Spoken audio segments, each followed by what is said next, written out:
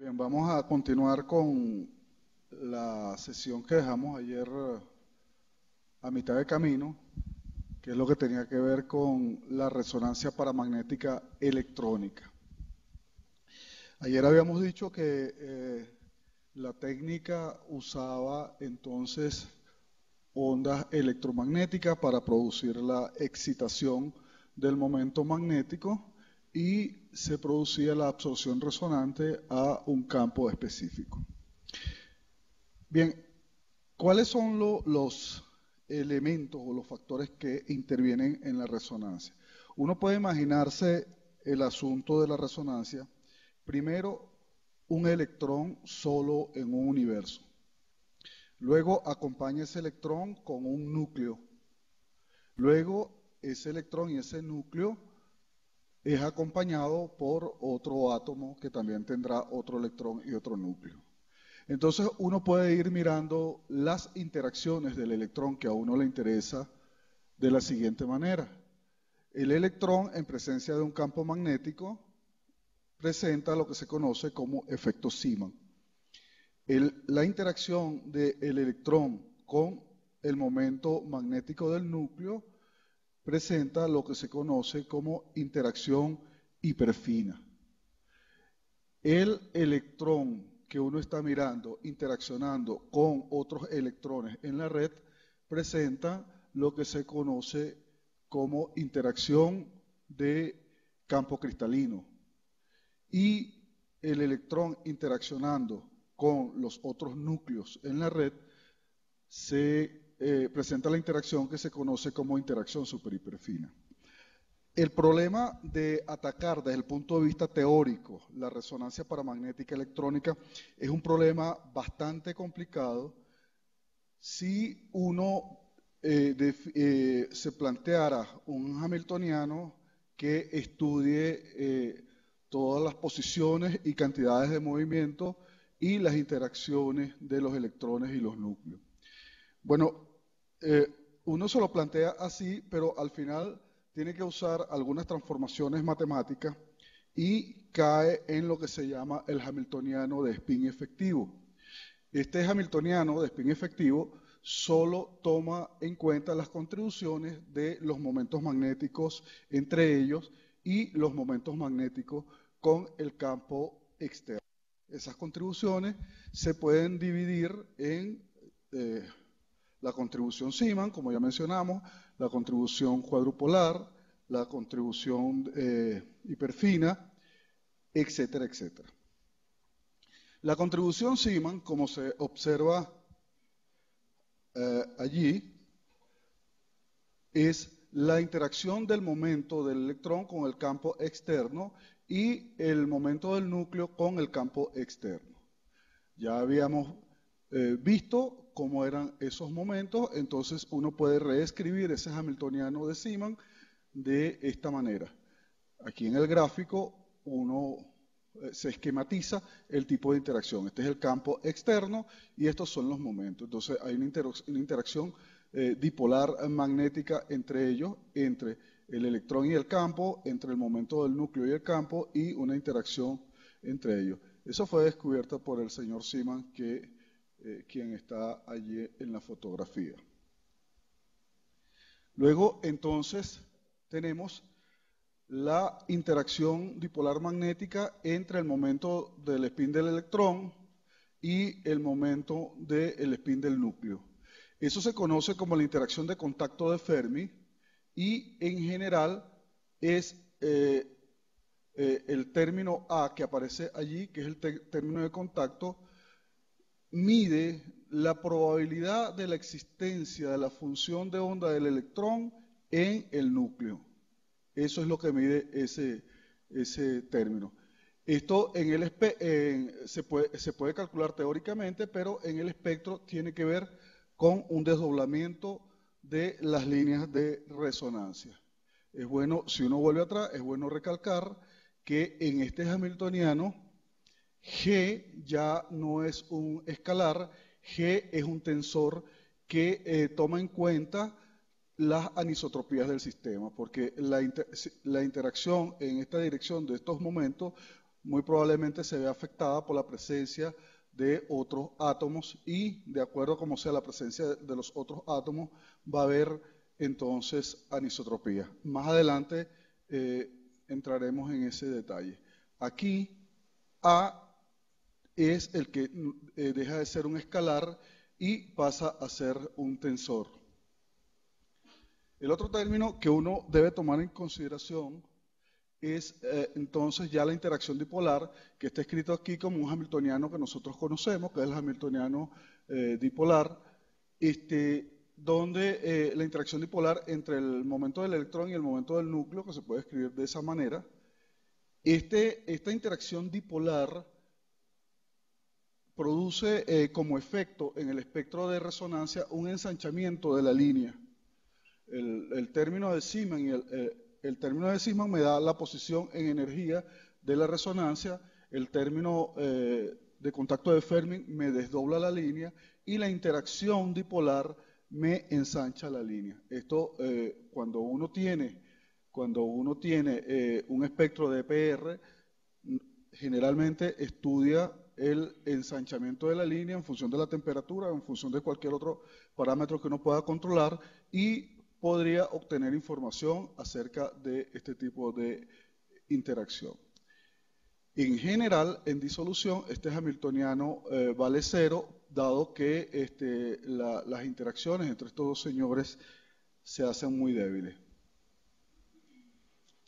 Otra interacción que es importante y sobre todo se usa ahora en, en la espintrónica es la interacción spin-órbita. Nosotros sabemos que el electrón tiene su momento asociado al spin y también tiene un momento asociado al eh, momento angular orbital. Ese acoplamiento entre esos dos momentos me da en un hamiltoniano, que es el hamiltoniano de spin órbita, que se puede escribir como se observa acá en la, en la lámina.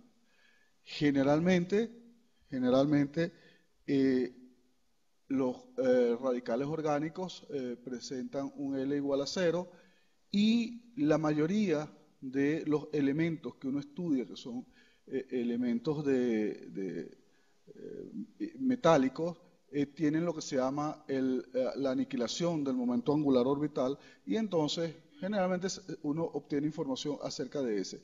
Sin embargo, esto produce un desplazamiento cuando existe L produce un desplazamiento en la línea de resonancia. Si uno hace un cálculo teórico, entonces se da cuenta que eh, la línea de resonancia está desplazada. La condición de resonancia, como mencionábamos ayer, es esta, o sea, cuando la diferencia de los niveles de energía de las poblaciones, de los momentos que apuntan en una dirección y en otra dirección, se iguala a la energía de un fotón que uno le haga incidir al sistema, entonces se produce la resonancia. Esta diferencia de energía uno la puede esquematizar como se ve acá, si este es el campo magnético externo y este, tiene eh, esta, eh, está eh, hecho por este imán y este es el momentum del electrón que uno lo puede representar por un pequeño imán también, entonces tenemos dos posibilidades. Una posibilidad en cuando ellos se orientan, eh, eh, el momento se orienta en la dirección del campo y una posibilidad cuando se orienta antiparalelo al campo. Entonces, aquí tenemos dos estados de energía, un estado de energía se corresponde con esta situación, otro estado de energía se corresponde con esta situación y, eh, bueno, aquí no se ve muy bien, pero ya lo habíamos mirado en la sección anterior, esos estados de energía vienen dados como un medio de G por beta por H aquí está escrito realmente como se escribe, que es B, y el otro menos un medio de G por beta por H. Cuando uno entonces hace incidir una energía que sea del orden de esa diferencia de energía, obtiene la resonancia. Esta es una esquematización que ya eh, es de lo que hemos venido hablando, de uno rompe la generación del estado fundamental, hace incidir la microonda y se produce ese efecto. Ahora bien, tomando en consideración las, dos cosas que dijimos, o las cosas que dijimos anteriormente, uno va a tener varias situaciones. Este, si este es el, momento magnético asociado al electrón, entonces vamos a tener un estado que va a depender de si el momento del núcleo está apuntando hacia arriba o si está apuntando hacia abajo. O sea, para cada situación correspondiente a un estado del momento del electrón, vamos a tener dos situaciones posibles. Eso es lo que hace que la línea de absorción, que es una, generalmente es una gaussiana o una lorenciana, se desdoble. Y el centro de la resonancia es exactamente este valor. Las líneas quedan equiespaciadas. Una medida de esta distancia entre ese desdoblamiento me da la constante de acoplamiento hiperfino. Lo importante en estos espectros es medir la posición de la línea, el factor G o el campo de resonancia, que como les dije es lo que está por acá. Eh, bueno, ya habíamos hablado de esto, que el desdoblamiento de la línea central es lo que se conoce como desdoblamiento hiperfino.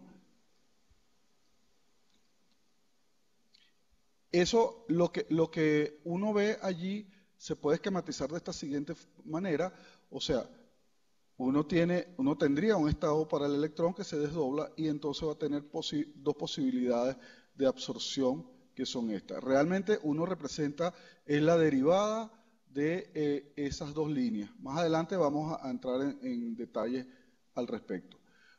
¿Por qué, ¿Por qué, se dibuja? Uno podría dibujar una, absorción de aquí a aquí, otra de aquí a acá y otra de aquí a allá. Pero ¿por qué solo hay dos posibilidades de absorción? porque este, estos son problemas mecanocuánticos y ellos cumplen una regla de selección. Y las reglas de selección que se cumplen acá es que la eh, absorción se da con delta ms igual 1 y delta mi igual a 0. O sea, hay, se, se, voltea el spin del electrón, pero el spin del núcleo no se voltea. ¿Ok? Entonces, por eso hay solo dos posibilidades. O sea, yo Volteo, para cada posición del núcleo voy a voltear el spin del electrón.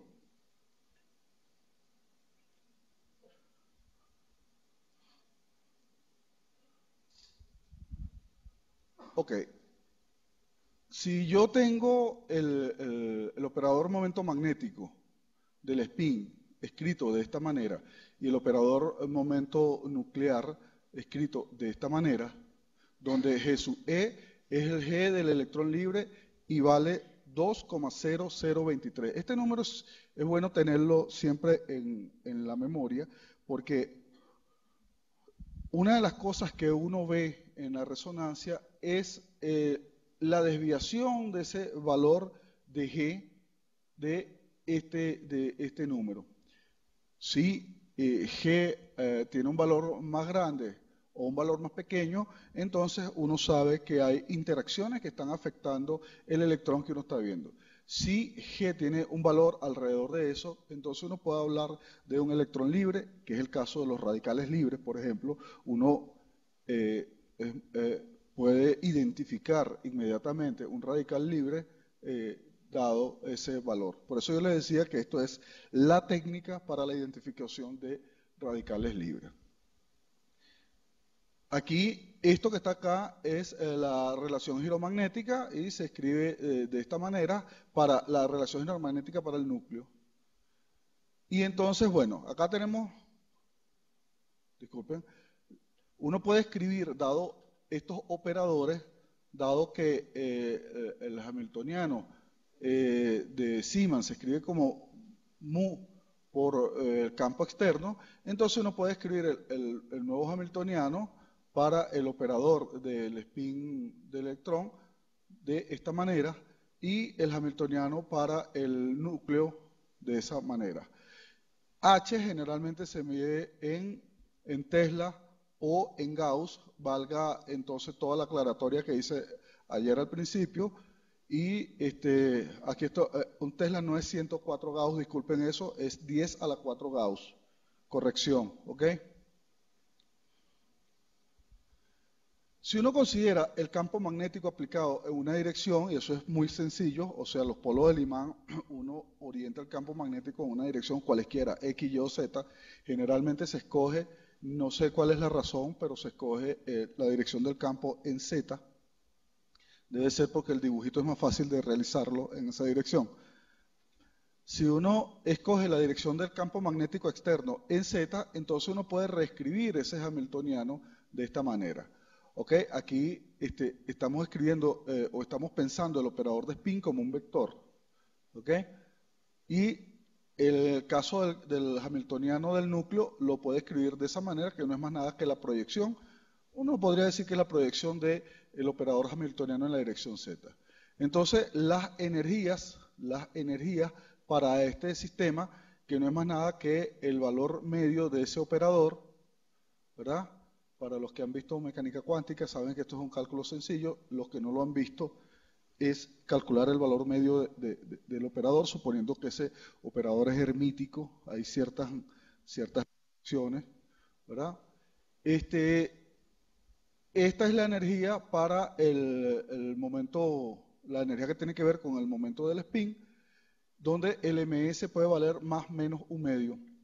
Y la, el, el delta de energía entonces se saca de allí eh, eh, introduciendo más y menos y esta sería ese delta de energía. Para el, lo que tiene que ver con el núcleo, esta sería la energía y el delta MI, el MI, perdón, sería eso. Esto, esto es bien importante. Este, esta interacción, este acoplamiento entre, entre este momento y este momento me desdobla la línea 2i más 1 veces.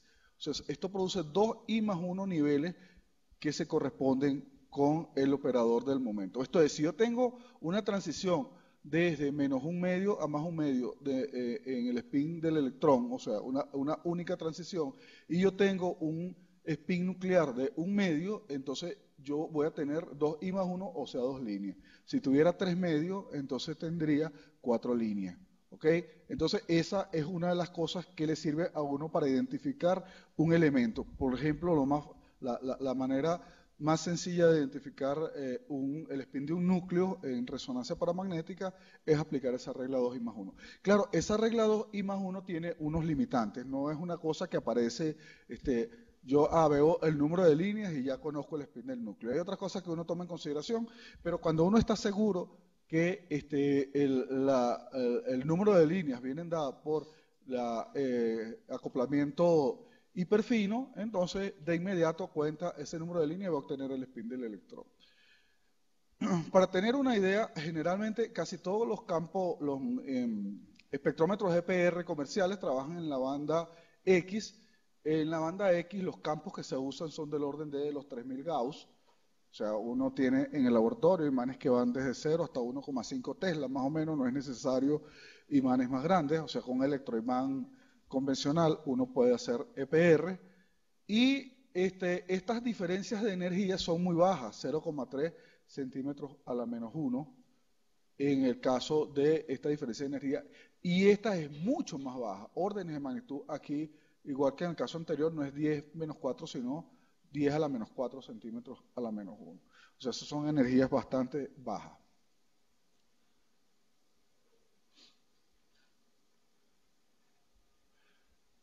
¿Cómo se relaciona entonces este, esta doble señal con, o la absorción con la diferencia de poblaciones?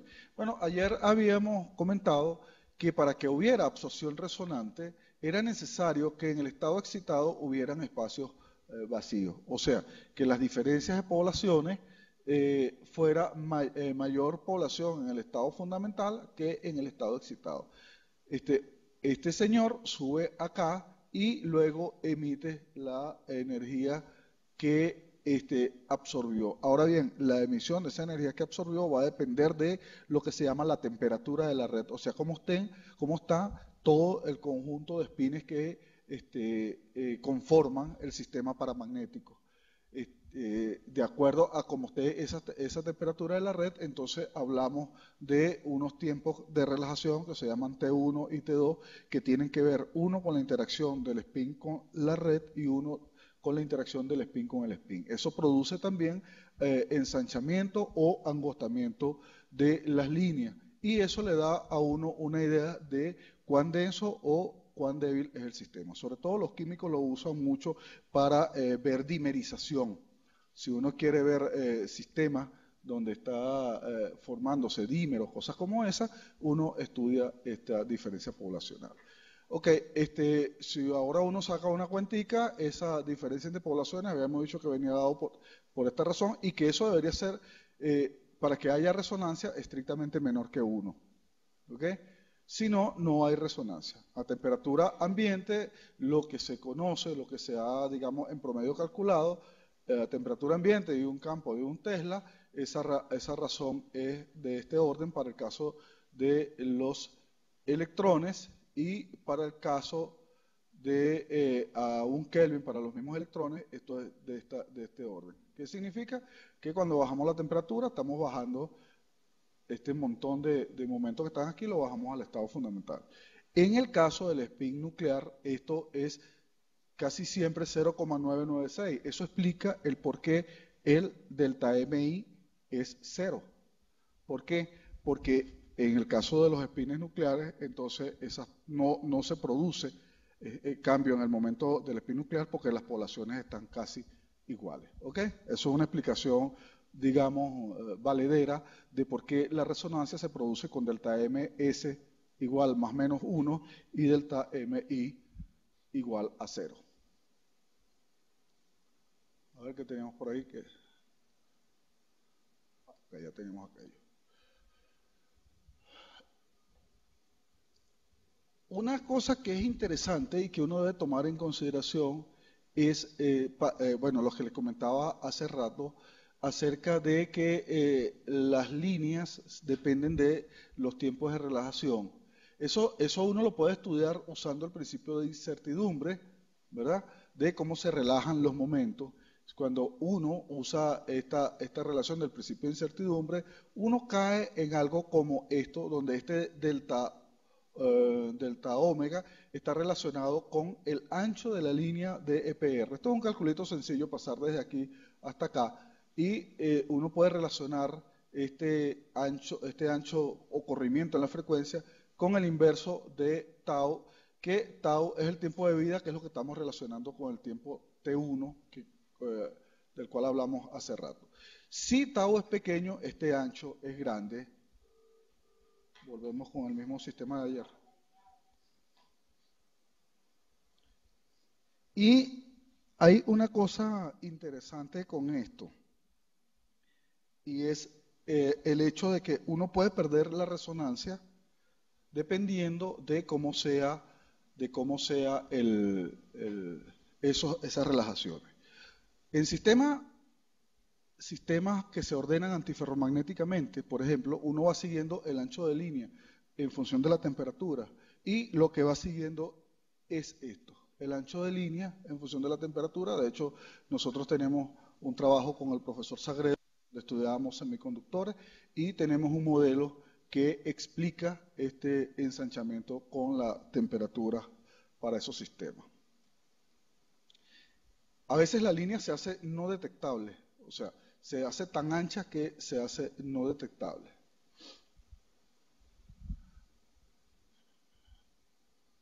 Entonces, los tiempos de relajación, como ya les dije, producen el, ensanchamiento en las líneas y esa eh, variación de los anchos de línea producen un cambio en la frecuencia del árbol.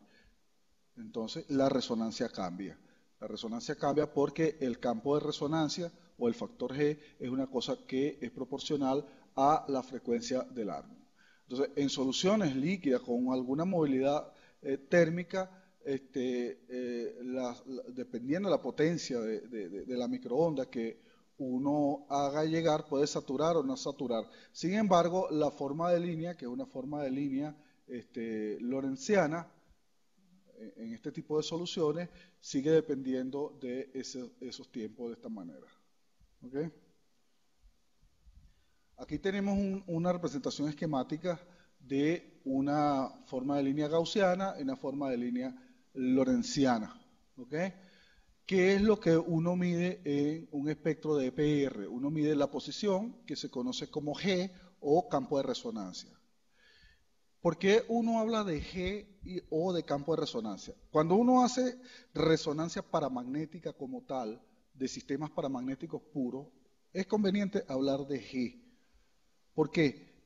Porque la posición de las resonancias en un sistema paramagnético no cambia con la temperatura. O sea, si el sistema es paramagnético, yo puedo hacer eh, eh, barrido en temperatura y siempre voy a obtener una, posición de la resonancia constante. Entonces, en ese caso, G eh, es una buena representación. Yo simplemente mido el, el valor de G. El valor de G es la razón entre la frecuencia de la energía que yo le estoy haciendo incidir al sistema y el campo de resonancia. Es una razón. ¿Por qué se usa eso y uno no mide el campo de resonancia exactamente? Bueno, estos equipos, los equipos de EPR, usan una, lo que se llama una cavidad resonante. La cavidad resonante no es más nada que un dispositivo que sirve para almacenar la energía de la microonda que yo le estoy haciendo llegar al sistema. Si, yo pusiera el, sistema paramagnético en el aire y le hiciera incidir microondas, pues yo voy a tener dispersiones y la energía que voy a, suministrarle al sistema o de que el sistema va a poder absorber va a ser muy pequeña. Entonces, una manera de eh, hacer que estas cosas eh, maximice la, absorción de energía es usar cavidades resonantes. Las cavidades resonantes son estructuras metálicas bien pulidas que tienen ciertas características y las características están muy relacionadas con las dimensiones de eh, la cavidad.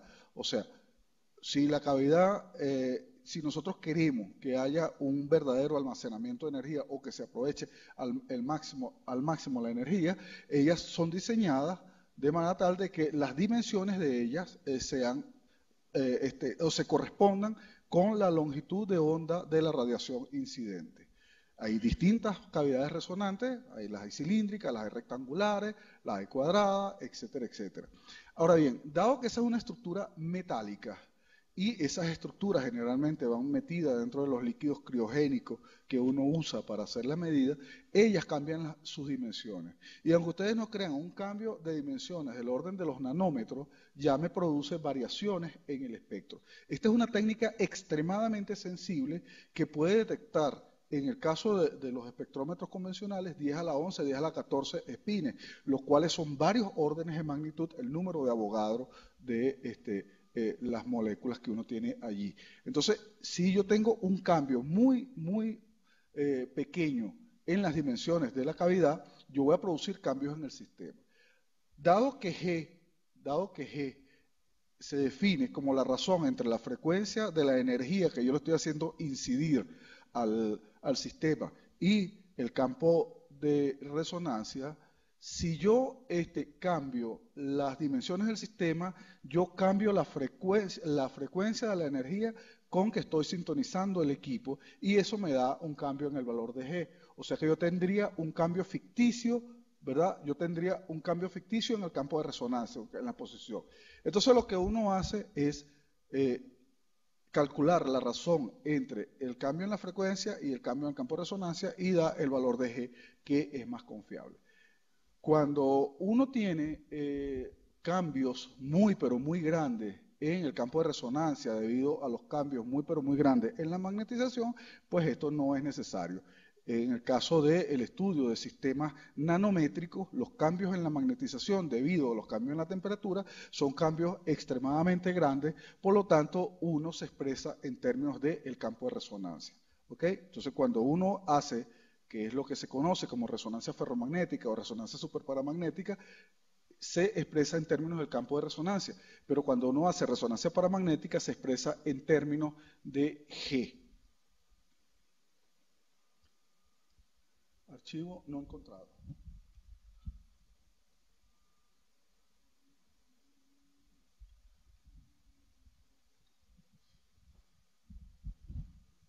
Ok, entonces eh, ¿Qué nos interesa? La semianchura, que es esta anchura que está acá, la anchura a mitad de, potencia, ¿verdad?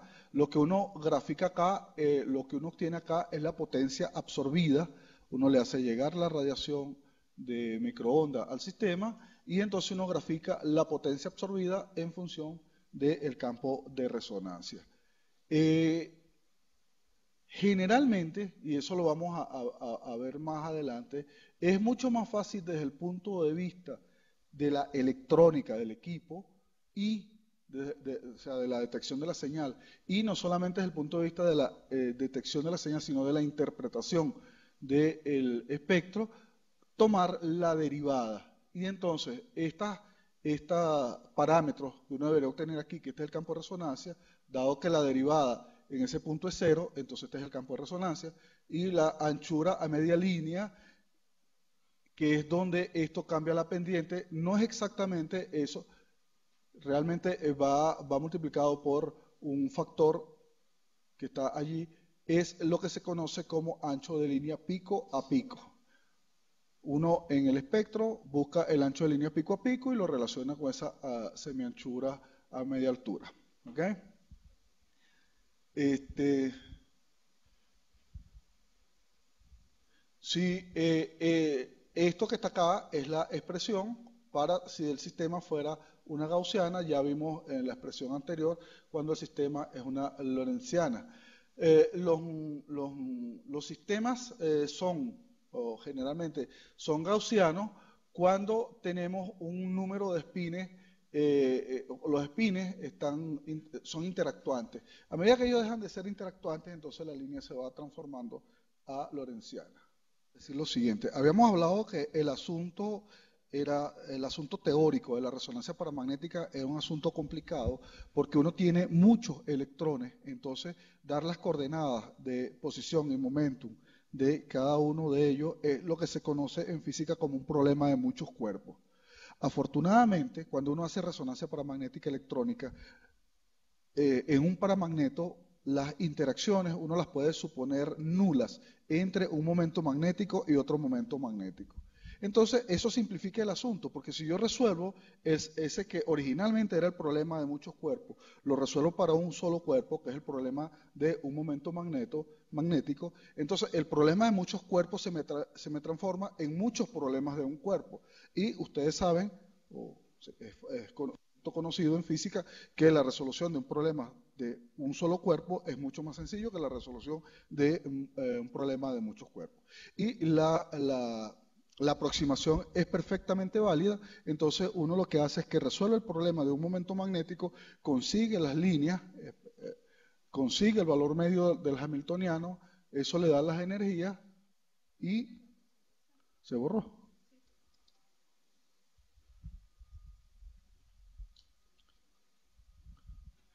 Entonces eh, consigue, consigue las posiciones de las energías y luego simplemente la las intensidades de las líneas son la sumatoria de cada una de las contribuciones.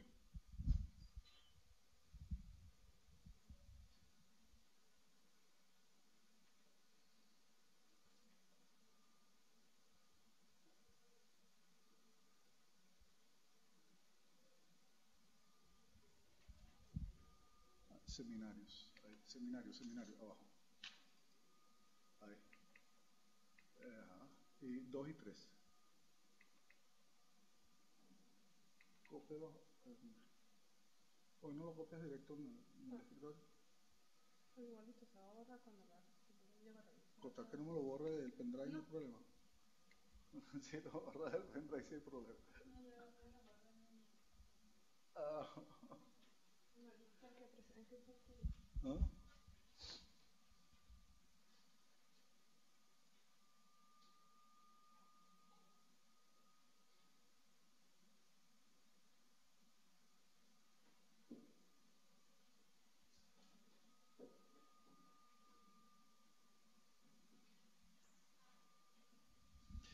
Ok.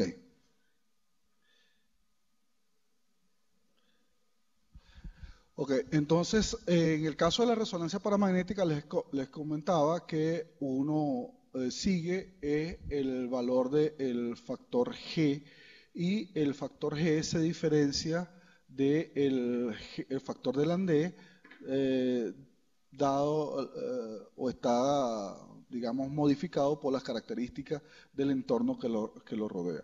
Por eso la resonancia paramagnética electrónica o estas técnicas resonantes, no solamente la resonancia paramagnética electrónica, es una técnica bien puntual. O sea, el electrón libre tiene un, valor de, de, su factor G. Si yo le coloco cualquier cosa al lado, ese valor cambia. Y ese valor del factor giromagnético está asociado a ese acoplamiento LS que habíamos mirado. Allí hay unos ejemplos, algunos ejemplos de algunos valores de G. Yo quiero decir eh, que esta técnica no es como la técnica de la resonancia magnética nuclear, donde pueden existir handbook de espectros, o sea, en resonancia magnética nuclear yo tengo la solución alfa y yo voy a un handbook y yo consigo a qué se corresponde ese número de líneas con la solución y puedo caracterizar.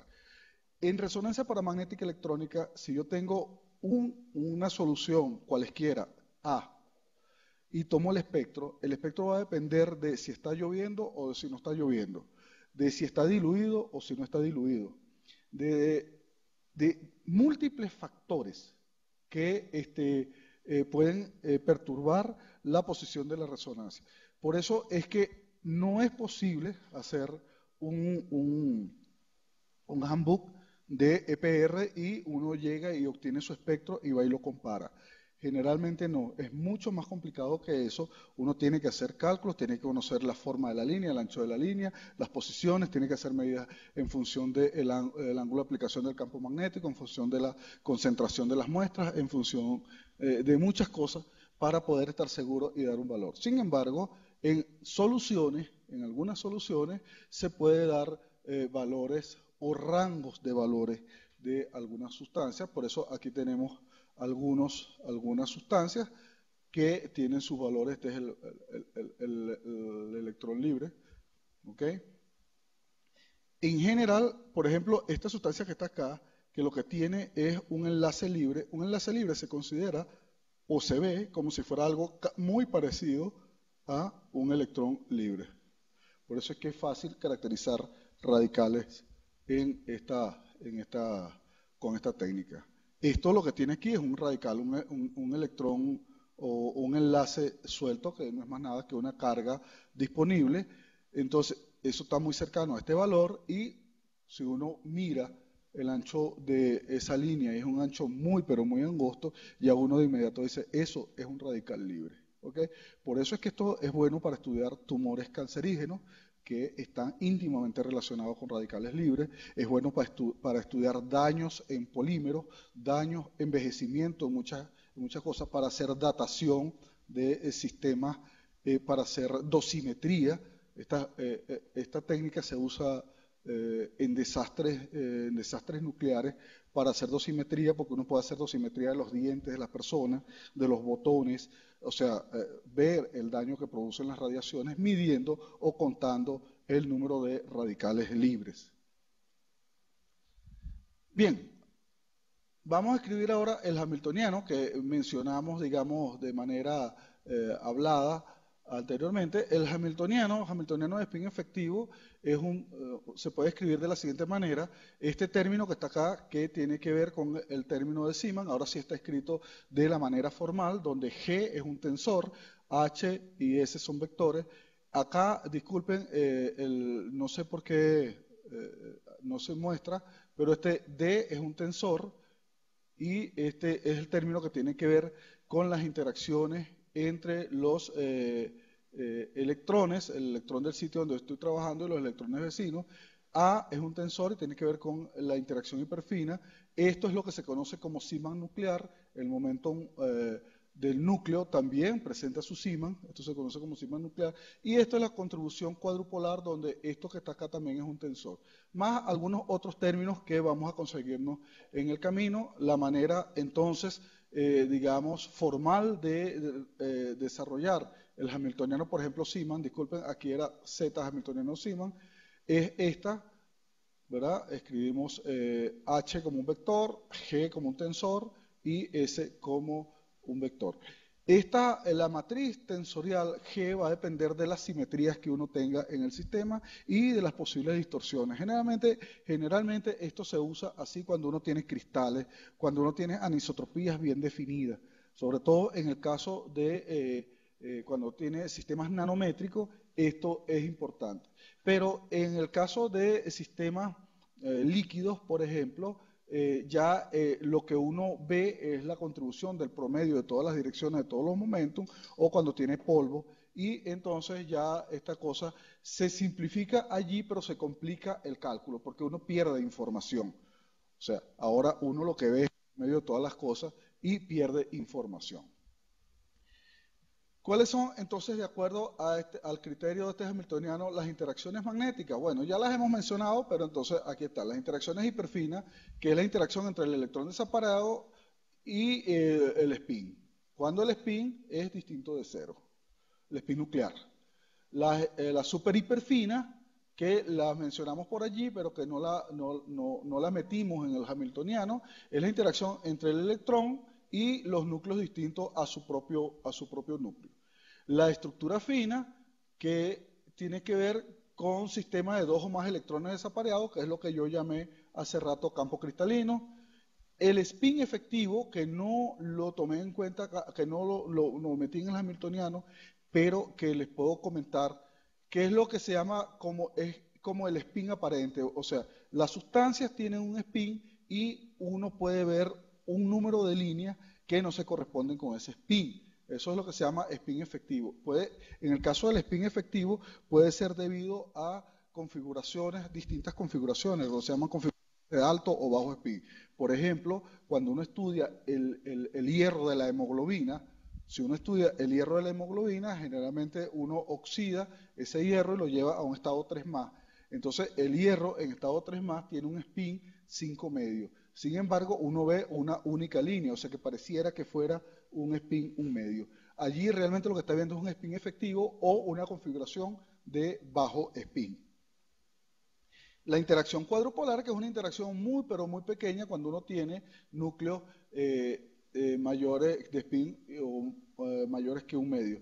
La interacción cuadrupolar conduce también a un tipo de resonancia que se llama la resonancia cuadrupolar nuclear, que es una cosa un poco más fina que la resonancia eh, magnética nuclear y que desde el punto de vista de la detección eh, de ella es complicadísima.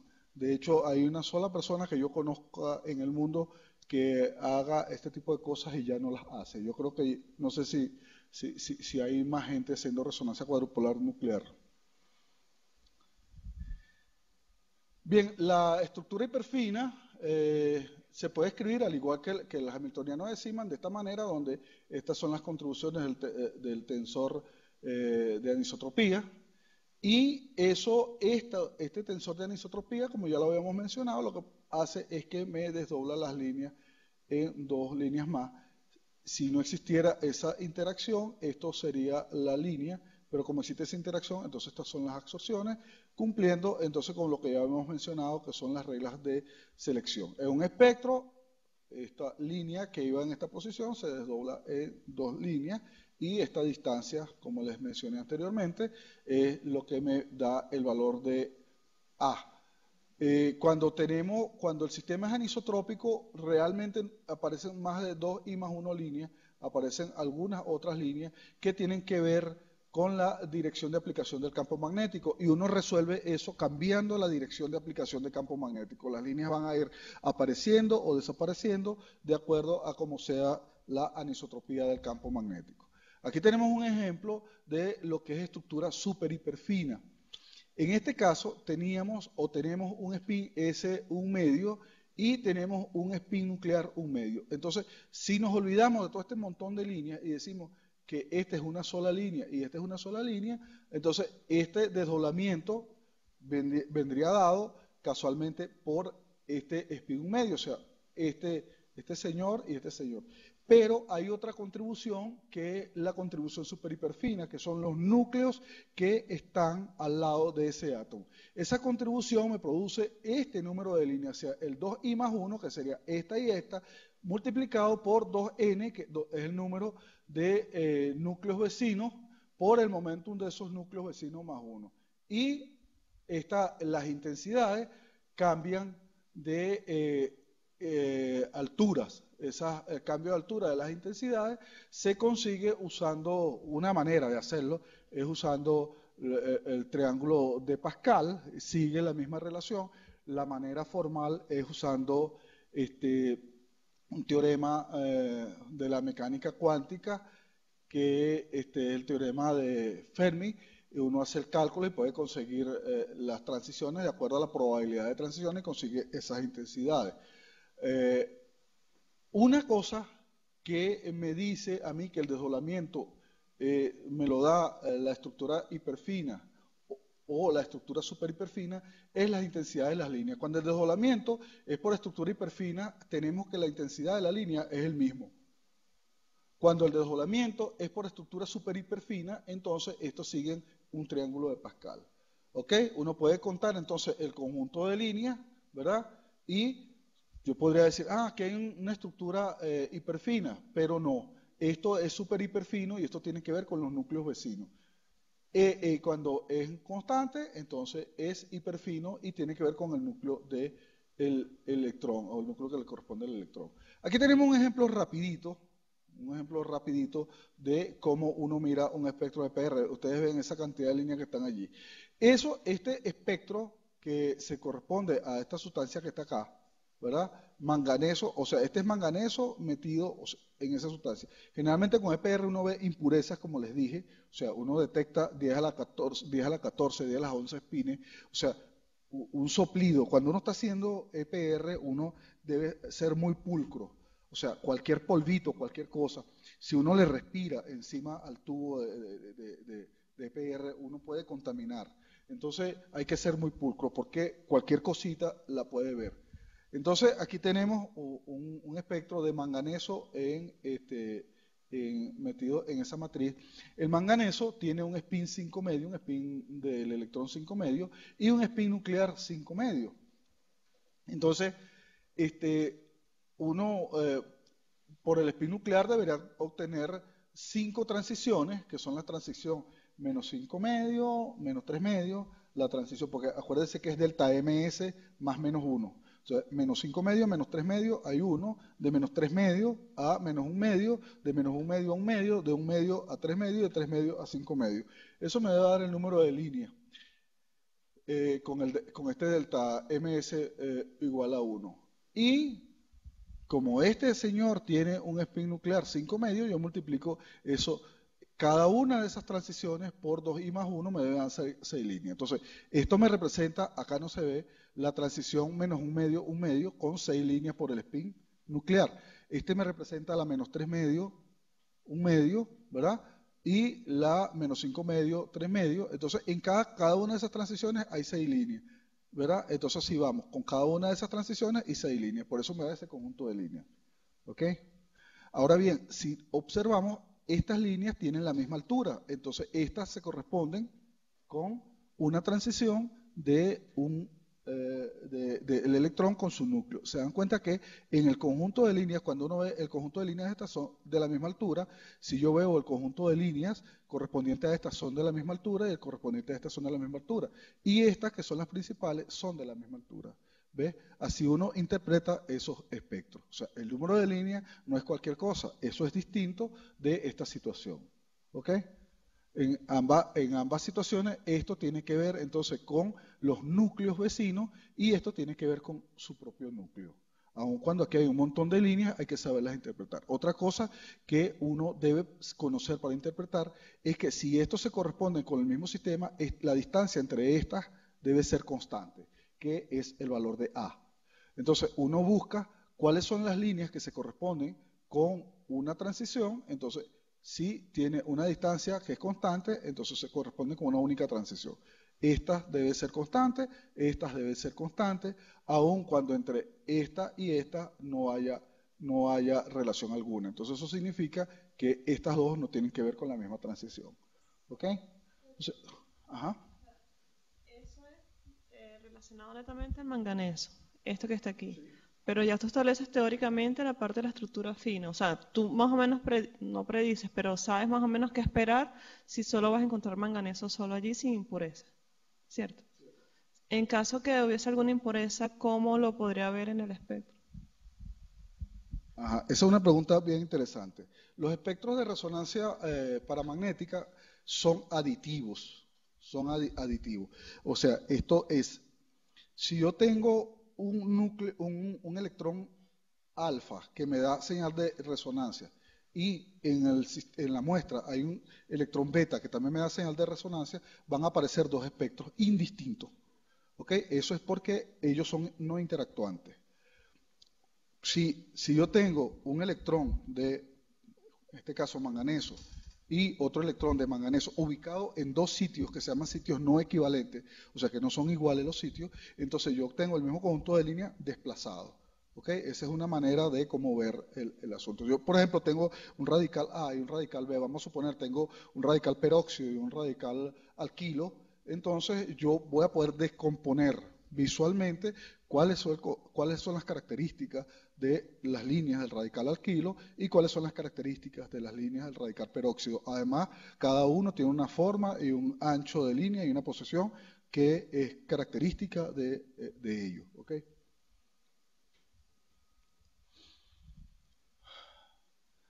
Otra, hasta ahora hemos venido hablando de transiciones eh, del estilo, transiciones electrónicas del estilo eh, MS menos un medio, MS un medio.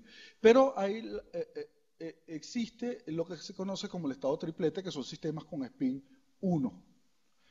Esos sistemas con spin 1 son estados así como el oxígeno, por ejemplo, que el oxígeno, aunque tiene en su, última capa dos electrones, ellos no se orientan antiparalelamente, sino que se orientan en la misma dirección. ¿Ok? Eso se conoce como estado triplete. Y en ese estado triplete, este, las transiciones son del tipo, de este tipo, que son singlete a triplete, o de, triplete a singlete, y se puede esquematizar de esta siguiente manera. Acá tenemos eh, en ausencia de campo esas transiciones y eso me va a producir el estado, la configuración de spin menos 1, 0, 1. Y la del singlete me va a producir esta configuración de spin que es ninguna. ¿Okay? Entonces, ¿cuáles son las posibles transiciones? Podemos tener transiciones del estado singlete al estado triplete como las vimos acá. Transiciones estado singlete. Transiciones dentro del mismo estado triplete que incluso es una transición prohibida las transiciones prohibidas a veces se dan de acuerdo a las características del sistema que yo esté estudiando. Y transiciones del estado triplete al estado triplete. Eso me da este número de líneas. Generalmente en un estado triplete puro yo voy a tener tres líneas, pero este es un estado triplete eh, eh, mezclado con un estado singlete, por eso tengo una, cuarta línea, que es esta, que es la que va del estado singlete al estado triplete. Un estado triplete puro, como les mencioné, las transiciones deberían ser entre las líneas de ese mismo estado. Bien, esto es un espectrómetro de. Este es el orgullo nuestro en el IBIC, no porque sea lo último, sino porque fue hecho en, es un homemade. ¿Ok? El imán, claro, el, imán no lo hicimos, ni, ni, los, ni las cosas que, controlan allí, pero la cabeza, esta cabeza que está allí, que es la, la, que tiene que ver con todo esto, todo esto que está aquí adentro fue hecho, que es el corazón del equipo. Un equipo de PR tiene entonces un electroimán, que es ese que está allí, un puente de microondas, conocido generalmente como puente de microondas o claustro, que es el que se encarga de generar la microonda que viene a la cavidad resonante que está acá y este, además detecta cuánta energía fue absorbida. Eso en la época en que yo entré como estudiante se graficaba en un registrador, después cuando entraron los otros muchachos, aquellos como estudiantes, se grafica en un computador. Sin embargo, tenemos el, registrador allí, digamos, para acordarnos de, que, de, aquellos buenos tiempos.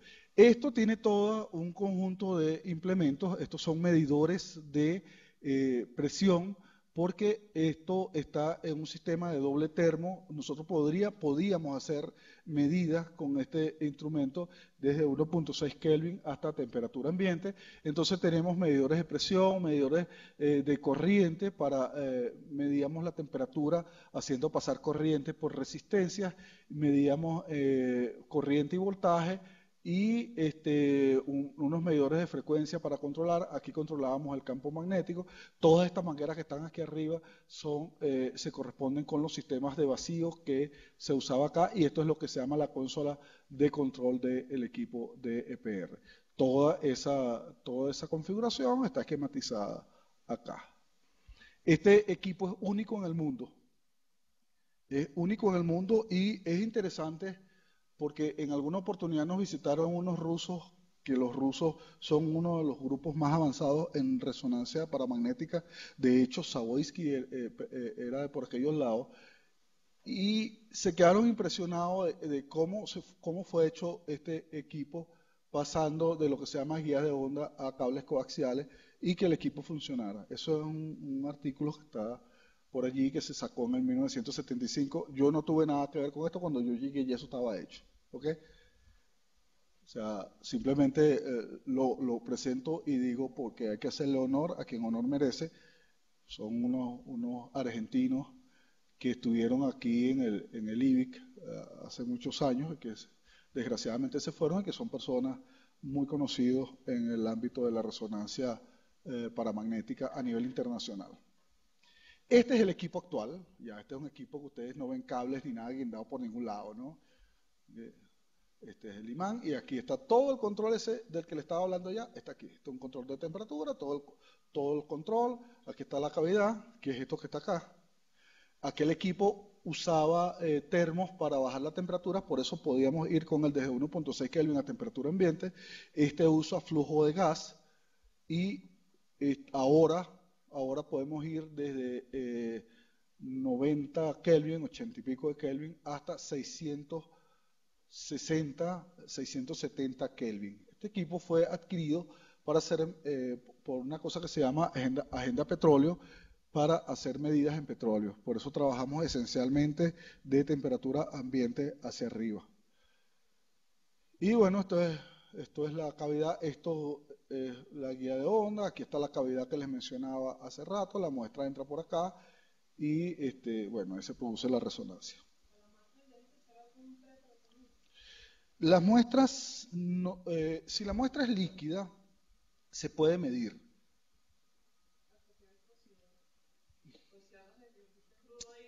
No. ¿Qué es lo que ocurre? O sea, en una muestra, en una muestra líquida, cuando tú le haces incidir radiación, ella dispersa mucho por, por la densidad, la viscosidad y esas cosas. Entonces, hay varias maneras de hacerlo. Una es solidificarla bajando la temperatura y otra es usar unas celdas especiales que usan los biólogos, que es como que si tú embarras en, el tubo del sistema. O sea, echas una embarradita, entonces él se seca y lo puedes medir. Generalmente nosotros en el laboratorio, como tenemos eh, nitrógeno líquido a disposición, nosotros metemos y congelamos. El petróleo generalmente lo congelamos o eh, lo trabajamos, los asfaltenos, que es lo que más nosotros trabajamos, los trabajamos en polvo. Pero no hay, digamos, no hay nada que te limite a, hacerlo. Si, si, es líquido, lo congelas. Y si no, bueno, chévere.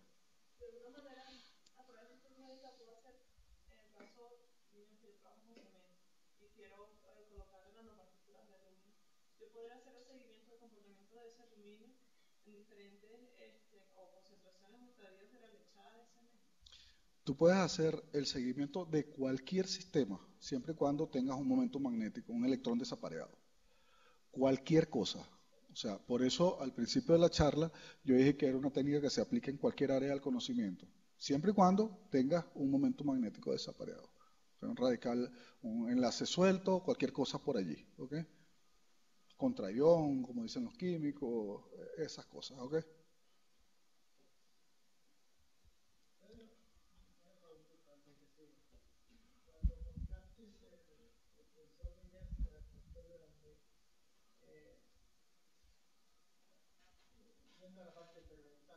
Ah, ok. Eh,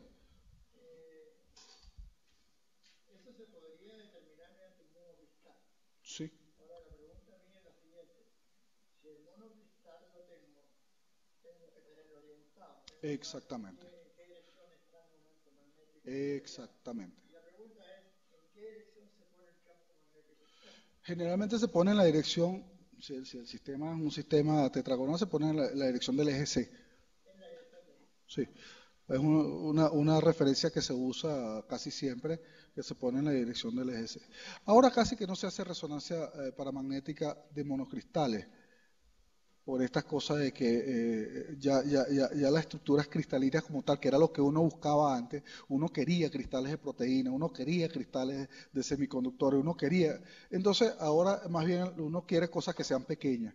Y eh, los, las referencias uno las obtiene es más bien con la magnetización, uno mide la, señal de campo de resonancia en función de la dirección de aplicación del campo y va a conseguir direcciones donde eh, la magnetización es mínima y direcciones donde la magnetización es máxima. Entonces uno toma como referencia, bueno, esta es la dirección donde la magnetización es mínima, no importando eh, la, orientación del cristal. Uno orienta la película y a las partículas eh, en función de eso más bien. Bien, este, hasta aquí hablamos de resonancia paramagnética electrónica. Ahora bien, vamos a comenzar a hablar de resonancia ferromagnética y resonancia eh, superparamagnética electrónica. El equipo es idénticamente el mismo. No se cambia nada en el equipo. Lo único que se cambia es la muestra. La interpretación es lo que se cambia.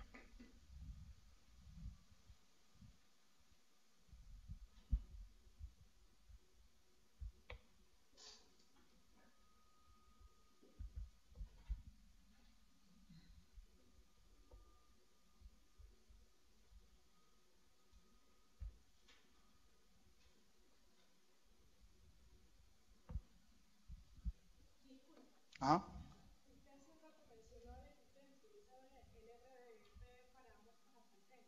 Sí, para Falten.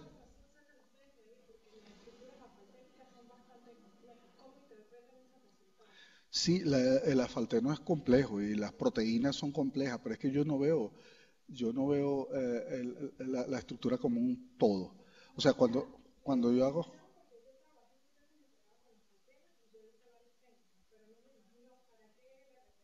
Ya, ya te voy a decir. Ya te voy a decir. Este, eh, con EPR se estudia este, proteínas, son cosas demasiado grandes. Pero el EPR es una cosa que es muy puntual, que él va es al electrón de algo. En este caso, en el caso de los afaltenos, él va, si el afalteno contiene radicales libres, él ve el electrón de un radical libre, él ve el electrón del vanadio, él ve el electrón del níquel. Y entonces, cuando yo estudio afalteno, yo lo que estudio son, eh, yo no estudio el afalteno como tal, yo estudio es la resonancia de los elementos metálicos generalmente que están allí y eh, la influencia de toda esa macroestructura sobre la señal. Eso es como un espía, es lo que decía el Roberto, eh, cuando uno estudiaba alguna cosa, uno tiene espías. Entonces, en, este caso, cuando yo estoy estudiando asfaltenos o estoy estudiando proteínas, mi espía es el, electrón desapareado que yo tengo por allí. ¿Dónde lo tengo? Bueno, lo tengo en los radicales libres, lo tengo en el vanadio, en las estructuras vanadilo, este, lo tengo en níquel, lo, tengo en, todas estas cosas que están, que están allí. ¿okay? Yo estudio el asfalteno como tal, sino que estudio el sitio, la cosa, me meto en el, en el ojo del, asunto y le puyo el ojo al asfalteno para que él abra las puertas y después yo puedo mirarlo. Entonces, ¿qué estudiamos nosotros en esto? Nosotros estudiamos radicales atrapados, eso nos ha servido para proponer un, eh, método de cómo este, los asfaltenos este, reaccionan con este, tuberías, cómo reaccionan con el medio, porque se tapan algunas cosas, etcétera, etcétera. Estudiando los radicales. Bien, Vamos entonces ahora, ya hemos hablado de manera general de eh, la resonancia, ahora nos vamos a ir al nanomundo. Entonces, eh, bien, ¿por qué esta cosa es importante? Bueno, eh, en el nanomundo, como ya hace casi todos los que están, han pasado por aquí lo deben haber dicho, ¿verdad? cuando uno cambia las propiedades de escala, cambian las propiedades magnéticas y las propiedades eléctricas y algunas otras propiedades en los sistemas. O sea, yo tengo un sistema que en condiciones Boole tiene unas características, pues en, en el nanomundo tiene otras características, porque se toman en consideración otras cosas. Y entonces esto nos ha abierto nosotros la puerta, la puerta para aplicaciones diversas, aplicaciones, sobre todo una de las aplicaciones más ambiciosas es en el cambio, eh, es en el área de la biomedicina, pero hay aplicaciones múltiples. O sea, y por eso este, nosotros, digamos, no, nos hemos embarcado en este, en este mundo de la nanotecnología. Un poco para, para ubicarnos, entonces, con las técnicas resonantes, estas, las técnicas resonantes, uno podría pensársela, esto no es estrictamente cierto lo que voy a decir, pero digamos uno se puede hacer un esquema mental de las técnicas resonantes así. Técnicas resonantes que tienen que ver con interacciones entre momentos magnéticos, interacciones débiles. Técnicas resonantes que tienen que ver con interacciones entre momentos magnéticos fuertes. Y una técnica que está entre los dos. ¿Ok? Entre las técnicas resonantes que tienen que ver con las interacciones débiles está, que ya las hemos mencionado, la resonancia paramagnética electrónica, la resonancia magnética nuclear y la resonancia del spin del muón, que le hizo mención Roberto Sisler, pero que yo también voy a hacer un poquito de mención porque yo no me voy a quedar atrás. y la que tiene que ver con las interacciones fuertes son la resonancia ferromagnética y la resonancia antiferromagnética. Entre estas dos conjuntos de resonancia está la superparamagnética. ¿Por qué está entre los dos? Porque cuando yo tengo un sistema superparamagnético, es como que, o sea, yo, me lo imagino así, o sea, yo voy disminuyendo y disminuyendo y disminuyendo el tamaño de las cosas hasta que conseguí el monodominio. El monodominio tiene un momento magnético asociado a todos los momentos magnéticos que están dentro. Pero lo que yo veo desde afuera es el, momento magnético único, que es la sumatoria de todos esos momentos magnéticos. Si yo tengo ese monodominio y otro monodominio y otro monodominio, entonces yo pudiera ver una resonancia como una contribución de momentos magnéticos por separados eh, no interactuantes, que no, no, es el caso, realmente no es que no sean no interactuantes, pero uno lo puede ver como que si fueran no interactuantes. Y eso me conduce a la resonancia paramagnética electrónica. Pero realmente no es una cosa no interactuante porque dentro del monodominio hay un ordenamiento ferromagnético. Entonces, eso me conduciría a la resonancia ferromagnética. Entonces, es una técnica que está entre las dos resonancias y que uno puede usar para caracterizar eh, los sistemas. Bien, vamos con la resonancia del spin del muón que mencionó Roberto y que es una técnica eh, muy, pero muy... Eh, sensible es mejor que las resonancias que nosotros hacemos, pero son pocos laboratorios en el mundo quienes lo hacen, son un par de laboratorios porque necesita un flujo de, de partículas elementales, o sea, necesita un flujo de muones, o sea, hay que tener un reactor nuclear para, para, tener el flujo de muones. Entonces, son un par de laboratorios en el mundo que hacen este tipo de resonancia y que, bueno, este, le da a uno una información bien interesante acerca del comportamiento magnético del sistema. Un muón es una partícula, una partícula elemental que posee carga y posee un spin, un medio, y que ya tiene una vida media muy, pero muy, pero muy corta, y que se descompone en positrones y en neutrinos. ¿ok? Entonces, este, eh, uno, uno se puede preguntar, ajá, pero bueno, si ellos tienen una vida media muy, pero muy, pero muy corta, entonces como que yo puedo usar el, spin del muón para este, hacer resonancia. Bien, eh, dado que es una partícula elemental, él puede entrar donde le dé la gana, ¿ok? Mientras que este, eh, las ondas, las ondas electromagnéticas, ellas entran, pero se van atenuando porque hay absorción de energía en los sistemas. Estas partículas elementales llegan muy lejos. Y otra cosa que tienen, que, es interesante, es que cuando ellas se descomponen, este, el, positrón conserva la polarización del spin que eh, tenía el muón. Entonces, si yo hago incidir, si yo hago incidir, disculpen, este, eh, un haz de muones sobre una muestra cualesquiera que está en presencia de un campo magnético, entonces eh, la interacción del el, muón, del spin del muón con los campos magnéticos locales en la muestra, me cambia la polarización del muón. Claro, me cambia la polarización del muón, pero yo no voy a ver el muón porque ya el muón decayó. pero como el positrón conserva la polarización del spin que lo contenía, entonces yo veo la polarización del positrón, ¿verdad? Y entonces ese cambio en polarización está relacionado con los campos magnéticos que están allí. ¿Para qué me sirve esto? Para ver campos magnéticos locales. Ustedes deben imaginarse que uno cuando hace una medida de, eh, la inducción magnética o la magnetización de un material, uno lo que ve en general es el promedio del comportamiento del sistema, ¿no? Pero aquí yo voy a ver el campo magnético local. El local es, yo tengo un momento magnético aquí y yo voy a ver cómo se me va a influenciar ese campo magnético por la presencia de otros señores que están allí. O sea, si la resonancia paramagnética electrónica es una técnica que era local, esta es mucho más local que, la resonancia paramagnética electrónica. Entonces, a eso se le llama resonancia del spin del muón y realmente no es una única técnica, son varias técnicas dependiendo de cómo uno aplique esa resonancia, la resonancia del spin del muón, entonces va a poder tener esta eh, resonancia que es el TF mu SR, donde este es eh, a campo transversal.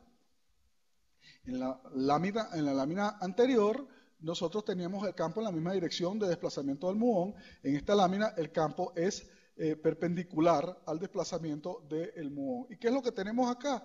Bueno, viene el muón, ¿verdad? Tenemos un campo transversal.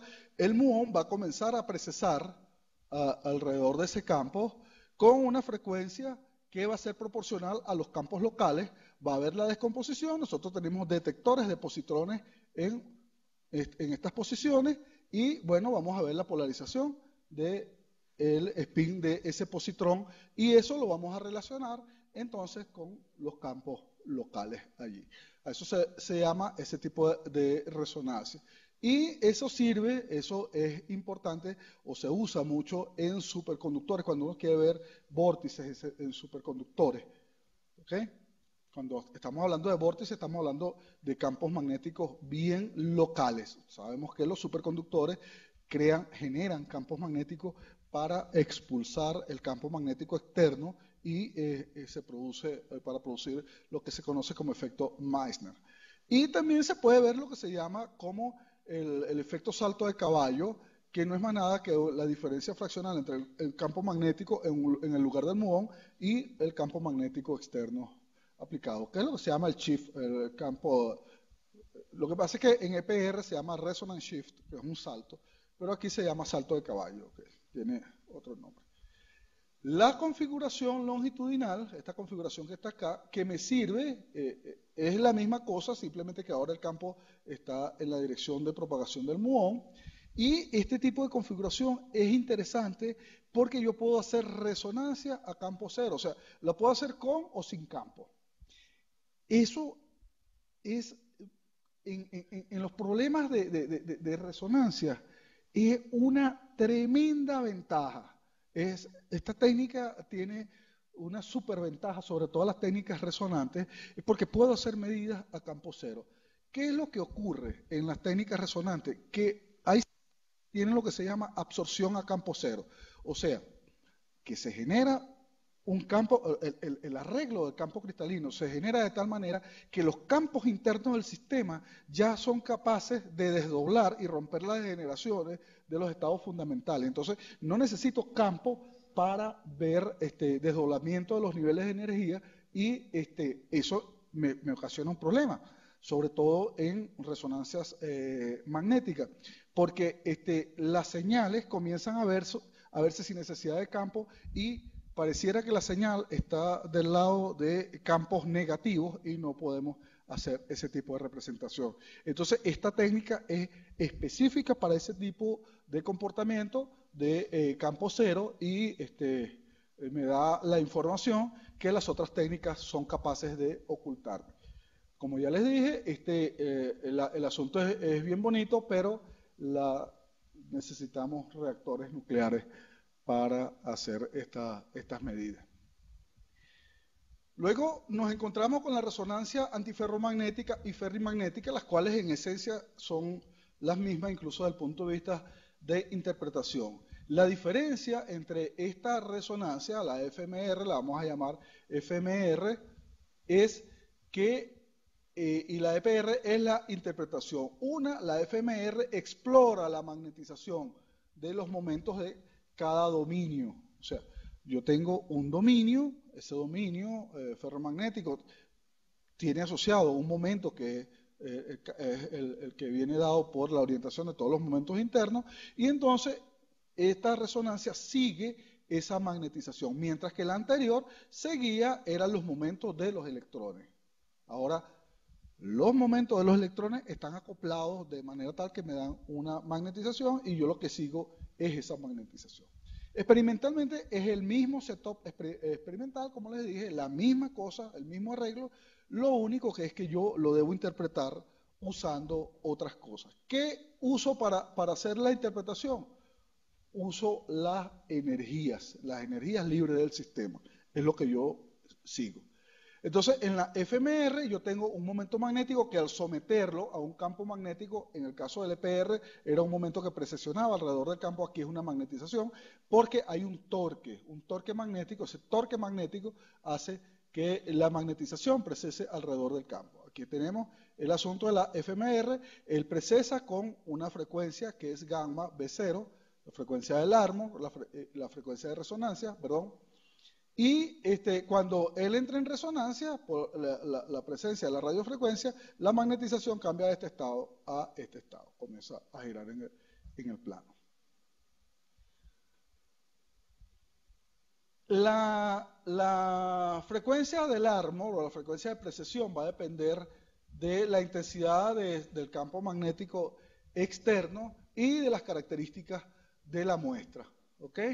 Entonces, este, si yo tengo un momento magnético precesionando alrededor de este campo, la resonancia se produce aquí eh, cuando omega es igual a gamma por B0.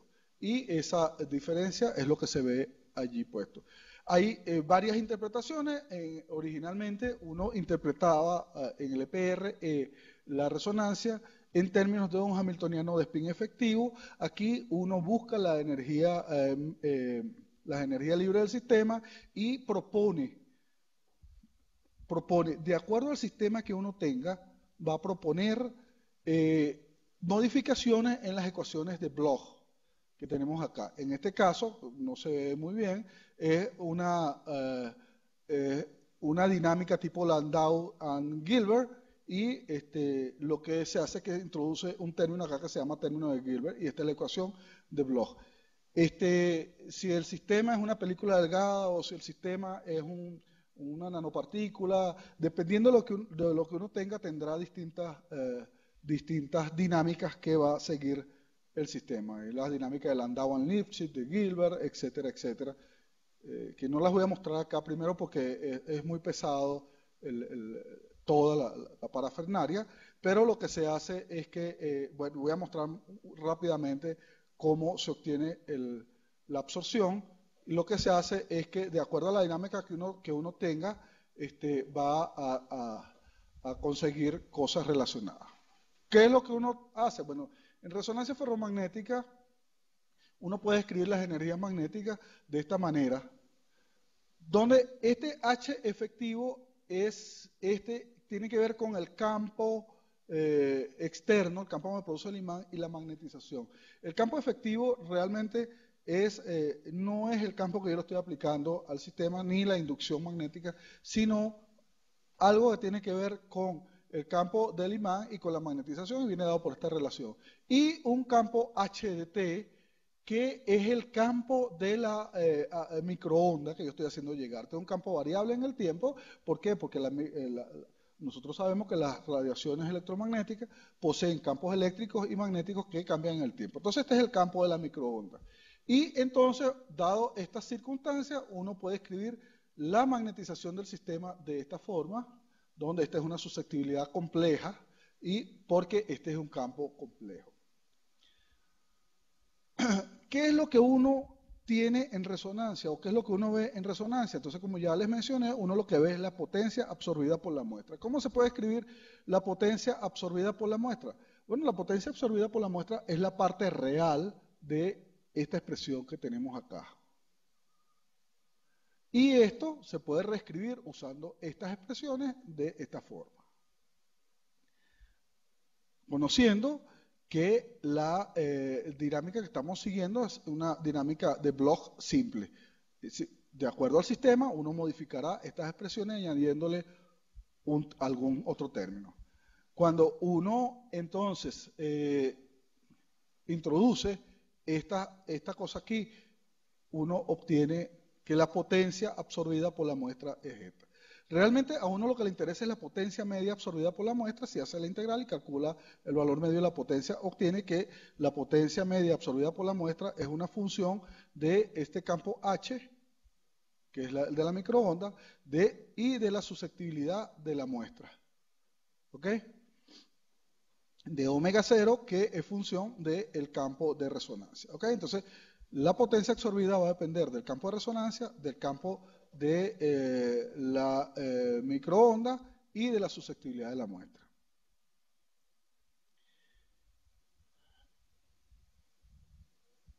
Esos, esas detecciones son cosas que me dan valores de voltaje muy, pero muy pequeños. O sea, la muestra absorbió una potencia y yo voy a detectar con un diodo detector que me cambia de microondas a corriente, este, la cantidad de potencia que absorbió. Esos son valores que generalmente están cercanos al valor del ruido electrónico del sistema. Entonces yo debo usar técnicas de detección, que ya las mencionó Roberto acá, que son técnicas tipo lock-in, este, para este, eh, técnicas especiales de detección tipo lock-in para poder ver eh, el espectro. Este, en, nuestro caso no usamos un lock-in, sino que usamos una técnica que es bien parecida. Y el asunto es el siguiente. Yo tengo los polos del imán, los polos de un imán. Eso me produce un campo B0. Si yo pongo un campito muy, pero muy pequeño en los polos del imán cambie con el tiempo, entonces el campo B sub 0 que yo tenía yo voy a tener un campo B sub 0 más un campito pequeño que cambie con el tiempo, y yo lo que voy a tener realmente es una variación del campo B sub 0 alrededor de ese campito. Eso hace que la muestra o que el campo de resonancia de la muestra entre y salga en resonancia, pero muy levemente. Entre y salga en resonancia, entre y salga en resonancia. A eso se le llama campo de modulación. Entonces, si yo logro detectar, si yo uso un detector que se mueva a la misma frecuencia con que se mueve el campito, entonces yo siempre voy a estar en resonancia, pero voy a estar detectando únicamente, únicamente lo que yo quiero detectar. Eso, es lo que se conoce como una técnica de modulación y una técnica este, bien, bien efectiva para hacer la detección de la resonancia. Entonces, la potencia eh, absorbida por el sistema ahora va a estar relacionada con la potencia original más una potencia que tiene que ver con ese campito de modulación. Ahora bien, como yo lo que tengo es una variación en el tiempo, porque la potencia ahora va a cambiar con el tiempo, si yo veo la variación de la potencia en el tiempo, voy a obtener una componente como esta. Pero si hago una detección tipo lock-in del sistema y veo solo las frecuencias que me interesan, entonces yo solo voy a ver este término. Los otros términos no dependen de esa frecuencia. Ni este, ni este, este término depende de esa frecuencia. O sea que yo voy a ver este término que está acá. Por eso es que yo le decía que el espectro de EPR era proporcional a la parte imaginaria de la susceptibilidad. Y por eso cuando uno hace un, eh, eh, el gráfico de un espectro de EPR, uno generalmente lo que escribe es la derivada de la, parte imaginaria de la susceptibilidad con relación a ese campo magnético. ¿Por qué? Porque yo lo que veo es la variación de la potencia en función del campo. Yo les decía que había una razón de instrumentación para detectar la, derivada. Bueno, esta, esta es la razón. La razón es yo puedo ver, digamos, de mejor manera la derivada que la potencia absorbida. Otra razón es este, que si yo tengo, como, eh, le aclaré hace rato aquí a la compañera, O sea, la- las absorciones en EPR son distintos, eh, indistintas o distintos para cada material. Si yo tengo dos materiales que resuenan muy cercanos y yo veo la curva de absorción como una gaussiana, por ejemplo, yo podría no distinguir claramente entre dos gaussianas que están muy cercanas. Si yo tengo dos gaussianas muy cercanas, a lo mejor me confundo. Pero si yo le saco la derivada y las gaussianas no están exactamente en el mismo sitio, entonces yo puedo ver las dos curvas separadas. Para la resonancia ferromagnética, este es el campo de resonancia. Entonces, uno lo que hace es que calcula las energías, calcula las derivadas de la magnetización y e introduce la dinámica que uno quiere acá y consigue el campo de resonancia. Esto es un, cálculo que depende de si uno tiene un bulk, si tiene una película delgada, si tiene una geometría, si tiene otra geometría, si tiene factor desmagnetizante. Depende de muchas cosas. Realmente hay que, hay que manejar eh, muchos, muchas cosas que hay por allí, como magnetostricción, etcétera, etcétera. Y la derivada de esto me da el ancho de línea. Con respecto a la resonancia superparamagnética, si yo tengo un, un- sistema bulk ferromagnético, como este que está acá, con dominios, estos son do- lo que está trata- esquematizado acá, son dominios, la suma de todos esos dominios me da una magnetización cero. Y tengo un sistema de nanopartículas, monodominios todas, en ausencia de campo magnético, la suma de todas esas magnetizaciones también me da cero. Cuando yo aplico un campo magnético externo, yo logro ordenar estos dominios en la dirección del campo, o la mayoría de esos dominios en la dirección del campo, y las nanopartículas también las logro ordenar en la dirección del campo. Pero si yo apago el campo, esta cosa trata de desordenarse. Claro, ellos no se desordenan totalmente, van a una magnetización remanente, ¿ok? Pero estas señoritas sí vuelven a magnetización cero. Esa es la diferencia entre este comportamiento y este comportamiento. Por eso, aunque dentro de los dominios hay un comportamiento ferromagnético, el, mundo macroscópico de estas señoritas es distinto de este. ¿Ok? Entonces, por eso cuando hacemos resonancia ferromagnética de este sistema y de este sistema, obtenemos dos cosas distintas. Entonces, a esta las caracteriza el hecho de que cuando estamos en ausencia de campo magnético, su magnetización total es cero siempre, aun cuando ellas hayan sido sometidas a un campo magnético. Mientras que los ferromagnetos, una vez que fueron sometidos a un campo magnético, hay que hacerle un tratamiento térmico para desmagnetizarlo completamente o aplicarle campo en la dirección contraria. Bien, esa dinámica, esto ahora no, no se muestra aquí. ¿Sigue de largo? ¿Cómo hacemos para pararla?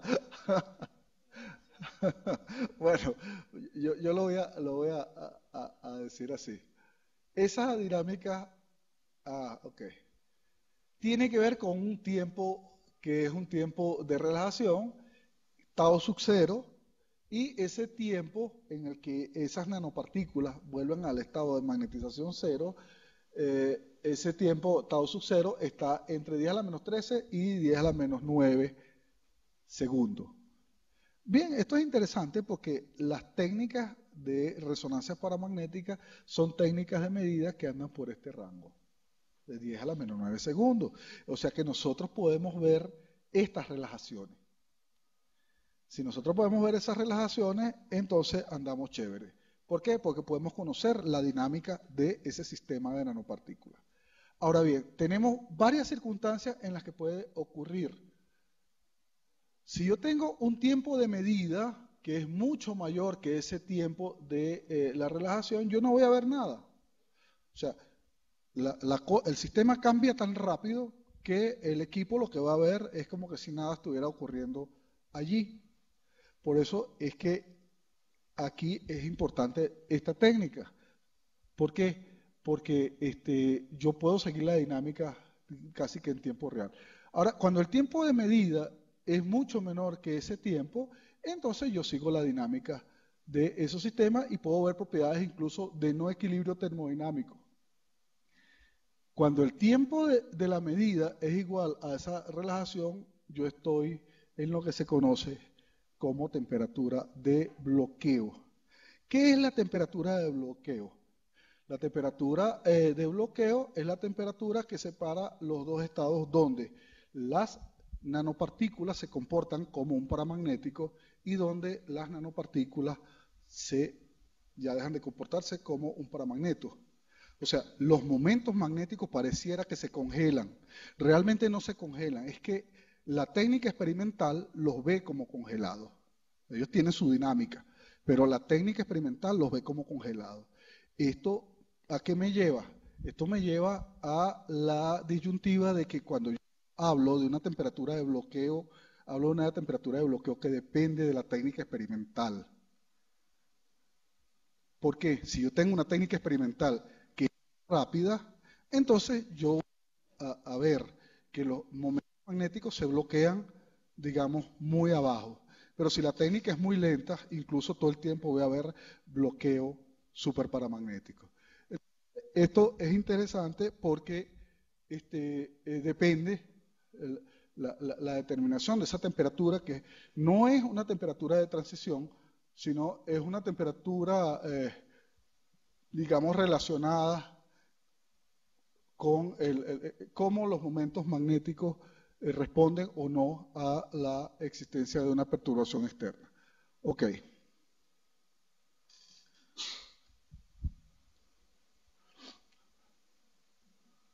Este, ah, el valor más alto de la temperatura de bloqueo viene dado por la temperatura de Curie o la temperatura de Nil del sistema, porque, claro, cuando pasamos por encima de la temperatura de Curie o la temperatura de Nil, ahí no va a haber bloqueo, estamos en el estado paramagnético. ¿Ok?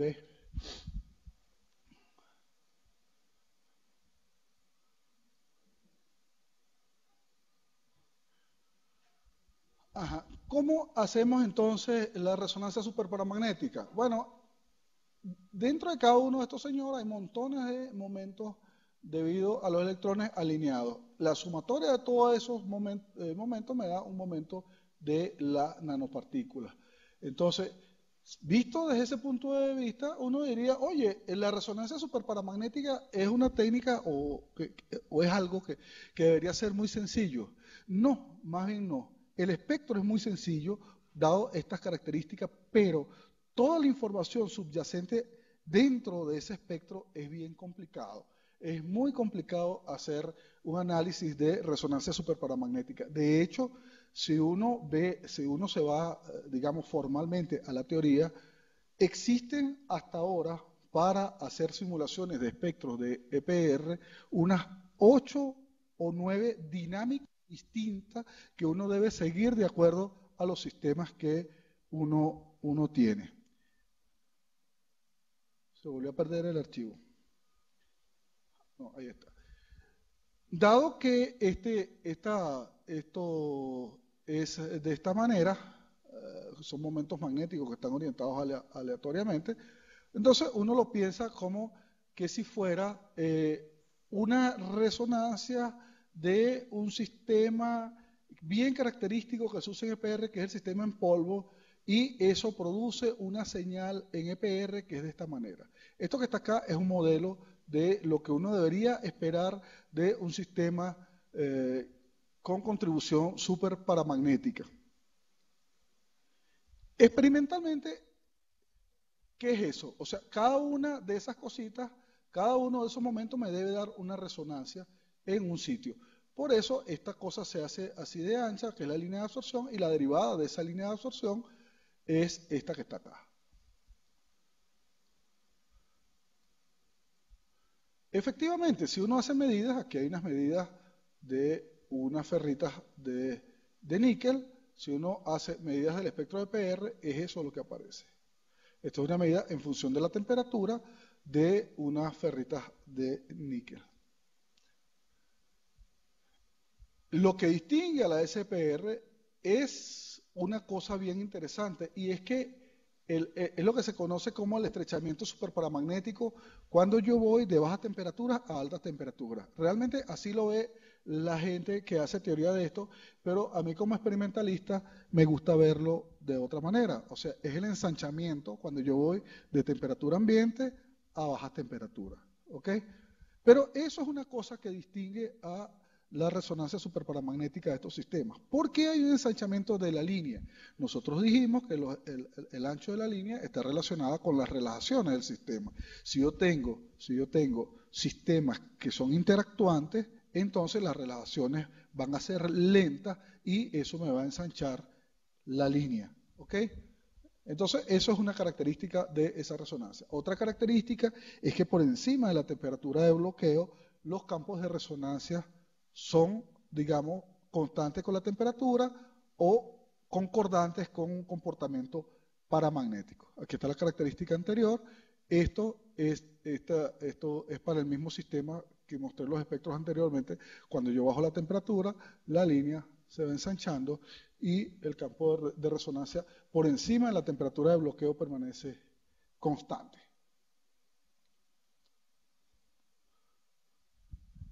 Bien, esto es una explicación de por qué estudiamos nosotros estas nanopartículas, eh, que ya yo no, voy a entrar en detalle, la escuela ha sido suficientemente larga como para que ustedes ya conozcan las propiedades y bondades de estas nanopartículas y por qué uno las estudia. ¿ok?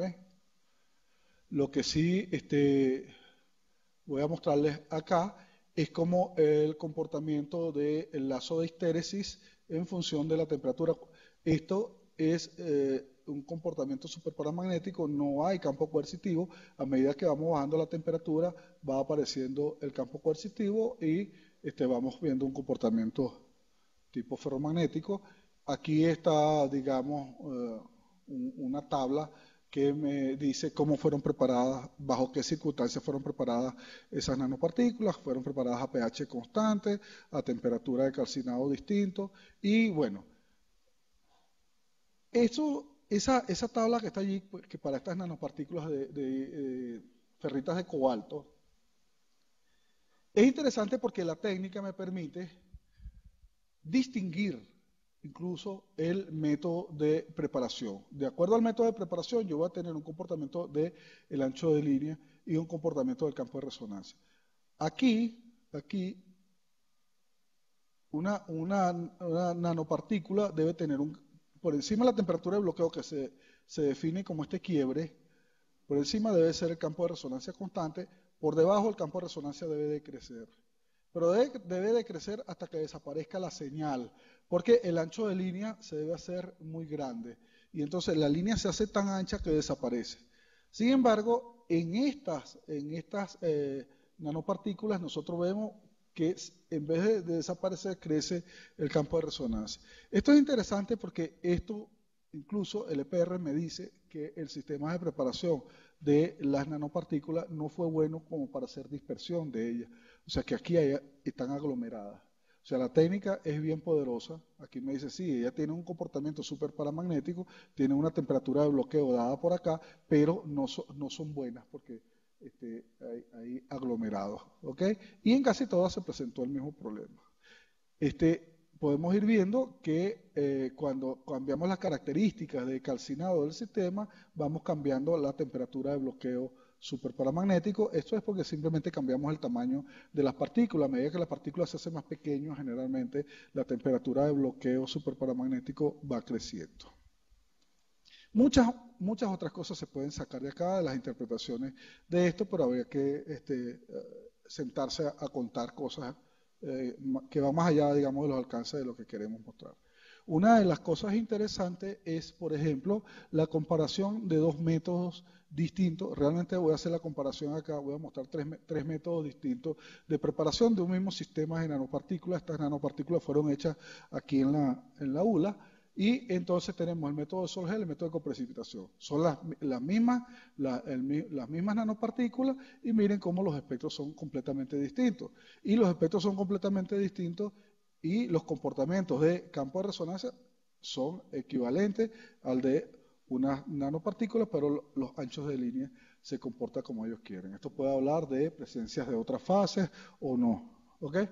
Incluso este, estas que fueron hechas por un método de combustión allá en la Universidad Central de Venezuela, entonces es total y absolutamente distinta a las anteriores y los comportamientos del campo de resonancia y del ancho de línea son distintos. O sea, que la técnica es bastante, bastante sutil en distinguir incluso la forma y las anisotropías presentes eh, de acuerdo a los métodos de preparación que uno esté usando. Bien, ahí hay unas conclusiones acerca de eh, para qué sirve estas resonancias y las dinámicas que uno puede usar para explicar. En este caso particular usamos una dinámica tipo Landau uh, elipsis y este, una explicación de la aparente contradicción entre las medidas de magnetización y medidas de EPR de, bloqueo superparamagnético que ya se las mencioné anteriormente. Bien, este, con esto culmino. Culmine a tiempo. ¿Alguna pregunta?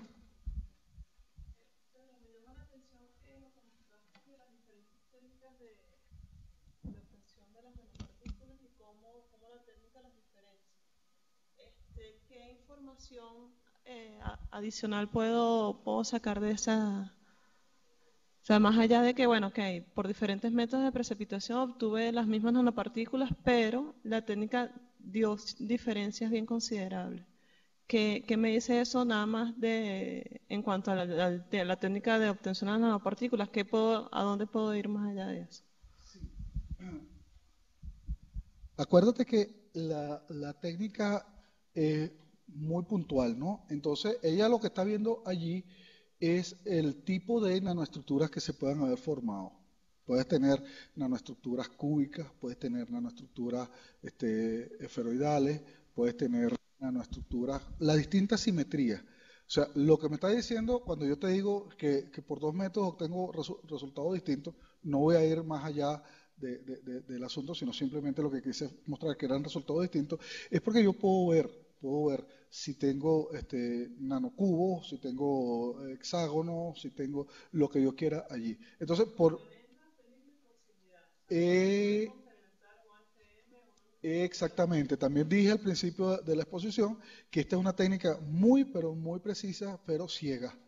O sea, que los resultados que yo obtengo con los otros métodos los puedo corroborar con este y los que obtengo con este puedo corroborar con otros métodos.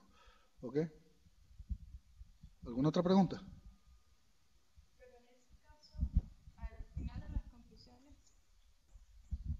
Eh, al final de las conclusiones indicaba que eran un poco contradictorias, contradictorios los resultados entre magnetización y, EPR. Entonces, ¿cómo se interpreta en ese caso?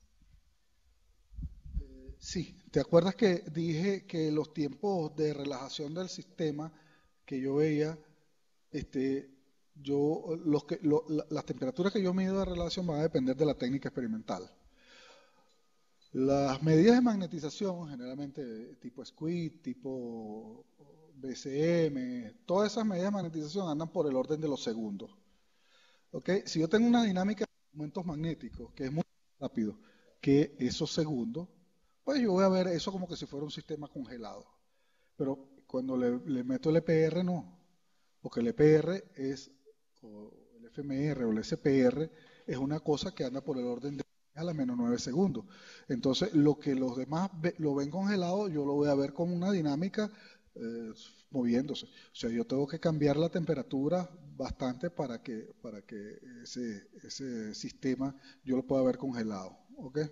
Por eso es que los resultados de unas técnicas y otras son distintos. Y uno debe aclarar, cuando yo hablo de temperatura de bloqueo, yo escribo alguna cosa con temperatura de bloqueo, yo voy a decir temperatura de bloqueo vista por EPR, temperatura de bloqueo vista por eh, magnetometría SQUID o cualquier cosa como esa. Se debe aclarar y eso generalmente no lo hace, no lo hace la gente porque este, cuando yo hago medidas de magnetismo en nanopartículas, o sea, si estoy usando una única técnica no lo aclaro, pero si uso más de una técnica, estoy en la obligación de aclarar qué es lo que estoy haciendo.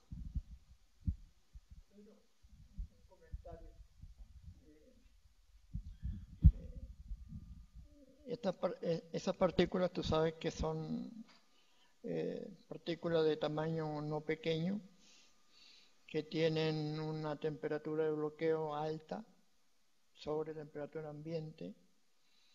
Eh, más o menos es sabido de que en la región superparamagnética el material, no vamos a decir que es, pero se puede asimilar a un sistema desordenado casi sin interacciones, pero por debajo de la temperatura de bloqueo las interacciones son fuertes. De hecho, las curvas de, de magnetización en función de temperatura para esas muestras muestran un, cambio de dirección fuerte que se aleja de Langevin extraordinariamente. ¿Cómo se podría, se puede detectar esas interacciones interpartículas que hacen que se cambie el comportamiento de Langevin y ya no sean, llamemos, independientes, sino que son muy dependientes unas de otras mediante las medidas de EPR? ¿Sí? Sí, el comportamiento de estas nanopartículas o de la magnetización de estas nanopartículas, uno incluso lo puede decir de una manera ligera, es un comportamiento tipo vidrio de spin. ¿Ok? O sea, hay una irreversibilidad fuerte. En principio, no hay una teoría que este, me tome en consideración esto, pero sí hay, digamos, teoría de resonancias magnéticas en vidrio de spin. Yo creo que la dirección para obtener toda la explicación de estas irreversibilidades este, tipo eh, vidrio de spin es seguir casualmente las teorías que se han usado para lo otro, tomando en consideración la distancia que hay entre uno y otro. O sea, estas nanopartículas no son unos vidrios de spin, pero sin embargo el comportamiento es tipo vidrio de spin. Yo creo que no, no he visto trabajo en esa dirección, pero yo creo que sí es posible seguir, seguir esa idea.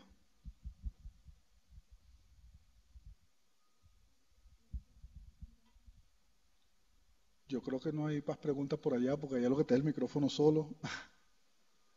Bien, entonces, si no hay más preguntas aquí, terminamos por esta semana. Terminamos la, técnica de caracterización de, materiales. Bien, muchas gracias por su asistencia. Espero que les sirva de algo y cualquier cosa, bueno, ustedes tienen mi correo, tienen a disposición los equipos. Los equipos del Centro de Física están plenamente a disposición de todo el que los necesite. Son la, filosofía nuestra en el laboratorio es, son equipos del Estado y si el Estado los necesita, cualquier persona está a disposición. ¿Ok?